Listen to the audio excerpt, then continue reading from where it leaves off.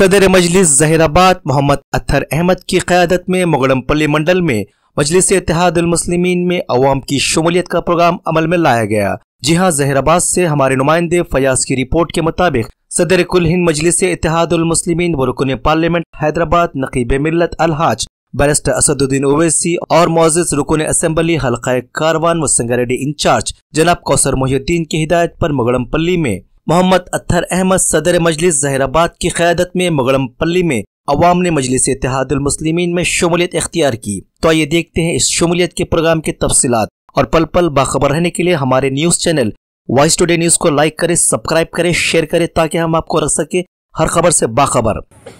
मजलिस के सदर हैदराबाद के रुकन पार्लियामेंट। जनाब बैरिस्टर असुद्दीन अवैसी साहब और अपने तमाम अरकान असम्बली को लेकर, तमाम अरकान काउंसिल को लेकर, पूरे जीएचएमसी के कारपोरेटर को लेकर सुबह साढ़े दस, ग्यारह बजे से दो दो बजे से ढाई बजे तक दारुसलाम पर बैठकर अवाम के मसाइल सुनते हैं और उसे हल करते हैं और उस दारुसलाम के ढेलिस के अंदर कौन सी मज़हब का आया, कौन सी जात का आया, नहीं देखते। सिर्फ़ वो जो मसाइल लेके आया, उस मसाइल को देखकर इंसान इसकी बुनियाद पर काम करते हैं।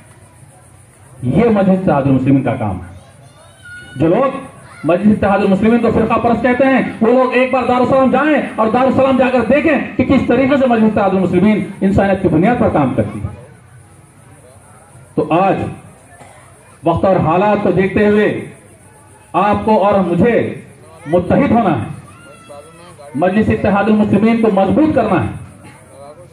मुसलमानों के जो मसाइल आते हैं तो बताइए कब कौन से कायद पार्लियामेंट के अंदर मुसलमानों की आवाज़ उठाई? ट्रिपल तलाक का मसला आया।